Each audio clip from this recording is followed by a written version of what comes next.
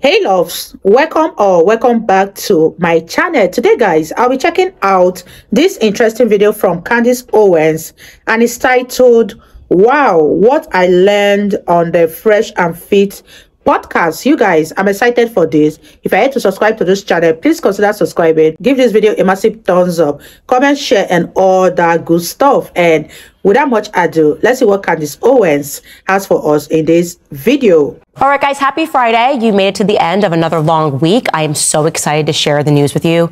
I conducted my first hoe clinic. You guys know this has been my goal in life. It's why I work because I want to be able to dedicate time wow. to exploring the hoedom, bringing these ladies in, transforming their lives. I want to move away from the era of the booty cheeks on Instagram. Well, I did it. I sat down with some hoes and I changed their lives. And I want to say no one believed in me, but you guys did. And now I kind of feel like I'm ready to retire.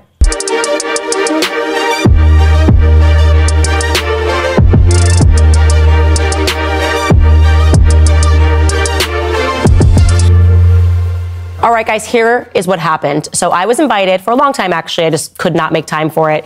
On to a podcast known as Fresh and Fit. There, it's conducted by two guys. Actually, there's more guys, but Fresh and Fit refers to the two main podcasters. Uh, Fresh, his real name, by the way, is Walter Weeks, and Fit is Myron Gaines. They wanted me to come on the podcast, and some people said, don't do it. It's a waste of your time. Essentially, they were the podcast that inspired the whatever podcast, mm. very similar format. They invite a bunch of girls really? on that work in the sex industry, and they speak to them. And a lot of people find this not to be a great thing to do, but actually I think it is a good thing to do mm. because what ends up being the result, I think, is that you have a lot of young women that are watching the podcast and they can decide from them, themselves whether or not they think working in the sex industry in any capacity is a good idea. Yeah. And there, this was, let me just be clear, a house filled with hoes. They even have like the waiting room, and because there's so many strippers that come on the show, you got they like they strip on a pole while they're waiting. I wasn't in the room, but their waiting area is very much designed for their activities is what I will say. Wow. I went on the podcast first to just sit down with the guys and talk about my ideas and what I believe in politics. And then they have this part called after hours and they invite all of the girls to sit around and they're able to talk to me and he allows me, Myron basically says, goes around, asks each of them how old they are, what their career is, and uh, uh, basically if they have any questions for me and I'm able to then ask them a bunch of questions. Mm. So this was unique. I thought to myself, this really is what I want to do in life. like I want to be a person that's sitting in a circle wow. with a bunch of women who are hoes and give them advice. Yeah. I do. This is actually perfect. That's why I ignored everybody telling me not to go on the show. And I went and I tried out my clinic. I really did. That's what I did. And the first thing that I found was this pattern as I was asking them questions and talking about their lives. Anytime they would say something, it was very much, I don't care about men or I don't care about dating because one of the things that Myron does is asks them if they're in a relationship. And the overwhelming majority of them are not in a relationship, or if they are in one, it's a very new relationship. So we don't know if it's going to be successful, but we have an idea. And I was very struck by the fact that well, not really struck, it makes sense. The majority of these girls, all of them, actually did not grow up with a father in the home. Wow. It's, of course, makes sense why they don't like men and why they have turned to these sorts of careers. Yeah. There was one girl that really stood out to me, and her name was Kayla, and she shared her story, and her story was very sad. Take a listen. You mean like hookup culture? Right. Yeah, like hooking when up with a lot of guys. Like when Tinder came, first came out, mm-hmm. I think mm-hmm. I was like 16 years old, trying to find a boyfriend. Uh, on Tinder? Yeah, I, I grew up in a very small town in Michigan. What happened, so happened in high school? I like I said, I grew up in a very small town. Mm-hmm. Okay. Um, and did you think like having sex with them would bring you a relationship, sort of a thing? I just thought that's culture? like what you did, like yeah. if you wanted to be in a relationship with somebody. I don't think that's uh, you're, when you're 16, your brain's not developed, and I think a lot of young women think right. that when they're young, and so I, I totally get that, especially with culture telling you all the time that it's right. like do this, do this, and maybe he'll want you. When did you have a? How old were you when you had a child? Um, I had her when I was twenty. Okay, so quite young. Yeah. And was that a long-term relationship leading up to it, or? Um. So I met him when I was a stripper. So he met me at the strip club when I was like just getting off drugs, and mm. uh, so I was like looking for a way out. I didn't. I was staying in like a drug house and mm. everything. Yeah. What drugs? Um, what drug were you addicted to? Cocaine. Okay. Um, So, and he was a pimp. I like found out after like he took me out to eat or whatever that he was a pimp. So, um, I stuck with him for a couple weeks like staying in a hotel and then like I got put on probation. So like he was still the only person like paying for my phone bill and stuff like that. So I just stuck with him and then like later on he just told me like he loved me and he wanted me to be his girlfriend. So I was just like okay, and this is when I was 19. So. Yeah, so you were very young. Did you grow up with a dad in your house? Um, my dad died when I was 11. Okay, that's very interesting. Yeah. This is sad. Thanks by for the way. sharing that. Yeah, no, it's. I mean, there's there's a very clear pipeline that happens, and I- I think it's actually really great that you're sharing it because, you know, the worst thing is when people pretend this is like an amazing lifestyle. Wow, you guys, I love it when Candace Owens goes on this kind of show because she doesn't hesitate to give the best advice to these young women. And I feel the reason why most of these young women turned out the way they are is really because of the absence of father in their lives. Let me know what you guys think about this in the comment section down below. And let's continue watching you guys. Style, and it's like I had every no. option And I available to don't, me. Mm-hmm. I don't condone like girls doing OnlyFans or anything. Like I do it, but like I just do You it feel- because it because allows the support. and it also allows me to be like a full time. I am a single mom. Mm-hmm. Um, no child support, no benefits, Yeah. nothing like that. Mm-hmm. Um, and like it allowed me to stop prostituting because like obviously I was Yeah. like a prostitute. So I'm, I'm really grateful that you shared that. That's. I think it takes a lot to talk about that. With no, no, for and sure. And this that. this is why I like to come on like shows and stuff to spread like what I've been through.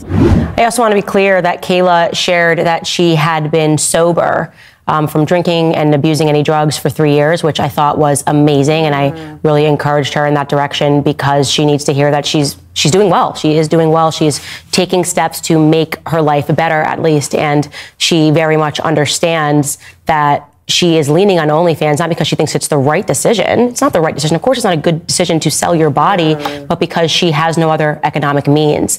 And this is why I really enjoyed these women as opposed to the women that I sat down with on the whatever podcast who were approaching the topic as if it was a no brainer, that it was all about money. They're making tons of money. These guys are idiots. And they didn't understand that while I very much completely know what it must feel like to, to be to be broke all the time, especially in today's economy, it sucked when I was broke growing up. That they're in the fast lane, but the fast lane ends very quickly, which is to say that everything seems amazing and fast and like so much money when you're young. Then what happens, of course, is they're going to get older, and then what you're going to have is younger OnlyFans model that are making more money. And of course, men are not going to want to date women that have that sort of a resume, which is the point that Fresh and Fit make to these young ladies. Like, why would any guy want to date you?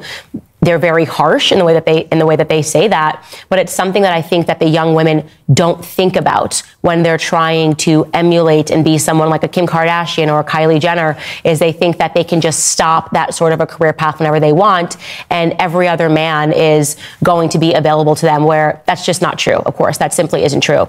One thing that I was able to share with them, and this particular clip went viral, and so I want to share it again so that everyone can hear it in case they don't watch the Fresh and Fit podcast, was just a story from my childhood because I very much identify with young women, how easy it can seem when you're presented with the option of fast money and you have your youth and you have your beauty. So why not? This is a 100% true story me and a person who was my best friend, one of my best friends in high school, were back from college. I think it was just the first semester. We decided to go out in New York City and we landed at a bar and it was just a total chance thing.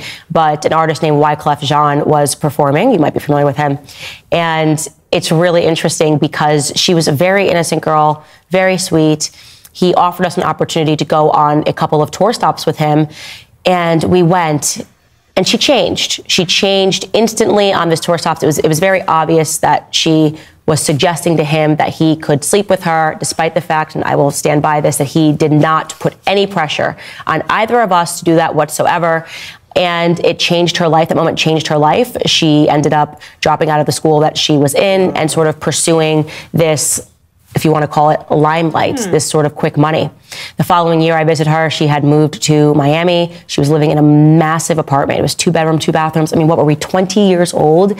And I was so broke. I remember visiting her on that spring break. I was so broke. Now she's not in school. She's got every rapper that is texting her. She's hanging out with them. She's dating some of them. She's sleeping with tons of them. And I just remember leaving her in Miami, didn't recognize who my friend was, and calling another friend of mine named Devin. And I remember crying because I could not even afford to put gas in my car. Like I was just, I remember saying to him, Devin, this is so unfair. It's so unfair. If I just did what she did, I could have so much. She lives in a huge place. You know, people are taking care of her bills. She doesn't even work. You know, she says she's modeling. It's just so unfair. She's in doing music videos, et cetera, et cetera. And I'll never forget what Devin said to me. He said, Candace, if you think in 10 years your life is going to be worse than hers, you are out of your mind. Wow, you guys, I love that advice that David gave to Candace Owens. Because 10 years after that incident, Candace Owens has become a very relevant person. She has put in the work, and I bet that almost everyone knows about her, but no one knows about her friend. And I don't know how relevant that her friend still is. Let me know what you guys think about this video so far, and let's wrap this video up, you guys. You're out of your mind. If you think 10 years down the line, the decisions that she is making is going to lead to a healthy and a good life, you are out of your mind. Years later, I must have been 25 years old. I was working in private equity, and no joke, the person that ran the firm had a massive wedding, and he invited Wyclef Jean to perform. And I hadn't seen him since I was 19, 20 years old, chose a different life for myself, and here I was working on this massive wedding. I'll never forget after he came and took the meeting with the execs, he and I took an elevator downstairs together, and he looked at me and he said, You know, I'm really proud of you. I'm really proud of you and what you did in your life. And I knew what he meant. I knew that he meant that he was proud of me because I didn't sell myself to artists, even when I had the opportunity to. And then beyond that, fast forward to, I don't know, was I about 30 years old? It was a couple of years after that. I can't remember the timeline, but I was working with Charlie Kirk at Turning Point USA. And I am not kidding. This is a true story. You can ask Charlie Kirk.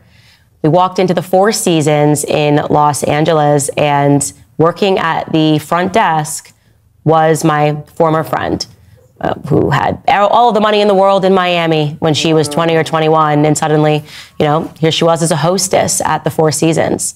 Not where she began, not the life that she was living. And, you know, I wish her all the love in the world and all the luck in the world, but I know that eventually what Devin had said was going to happen is indeed what happened. She got older, not as interesting to those rappers. She chose the fast life, but it didn't get her anywhere in the long run. You know, it was fast, quick, and then it was over.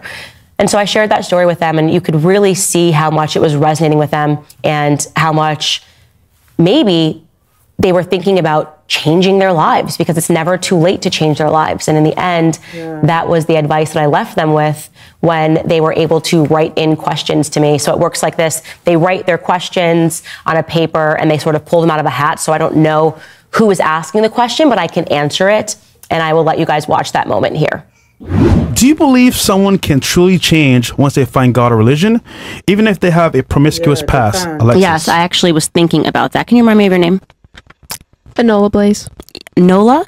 Enola Blaze. My real name's Enola. Kayla. Kayla. Yes. So I was thinking about that with Kayla um, because I had a former porn star on my show, and you should definitely watch that episode. And she transformed her life. She has kids. She's married, and she just came to her faith. And it was a really interesting conversation to talk about, you know, the industry, same thing, drug addiction, everything. And then she just gave up her life to God. And um, you know, met somebody at church who just wanted to know more about her. She was very open about, you know, her life and where she came from. And now she has like three kids, you know, Damn. she's been married to him for years. And what brought them together was, was faith. And I think that it is such a strong tenet and people turn away from it so much. But um, what God can do in your life when you give up your life to God, I've seen it happen. If you want to see a miracle, turn to faith. Wow. And I want that for you, by the way. Thank you. Yeah, you're the. I'm gonna pray for you, Kayla. Thank you. she was so happy. The girls were so happy. Ended on such a wonderful, beautiful note. And I really do want to encourage people to watch that episode. I, I want young women, especially, to watch that episode and to know that just because you're going through a period of grief, which we all go through. And just because you're frustrated maybe by your finances and of course the, the glamour and the gloss of social media, letting you know all the times that it could be so much easier, even if you sold your soul to the devil, you don't have to do that. You really do not have to do that. There is another option, and that option is hard work. And by the way, if you already have, if you already are selling yourself, at any moment you can stop and you could turn to something else, something that is much more fulfilling. So I appreciate being able to sit down with these young ladies. They learned from me, but I want to say also, I very much learned from them. And that's all I have to say about that. Wow, you guys, that was such an interesting one from Candace Owens. One thing that differentiates the girls on this podcast from that of the whatever podcast is that the girls that are on whatever podcast are very, very defensive, not willing to change. But these girls on the fresh and fit, they're willing to listen, they're willing to change, and above all, they are very, very pleasant. And let me know what you guys think about this video in the comment section down below. I really had fun reacting to Candace I really had fun reacting to Candace Owens. Candace Owens is truly, truly made for this. And wow, you guys, let me know your thoughts in the comment section down below. And I'll see you all in my next video. Bye, guys.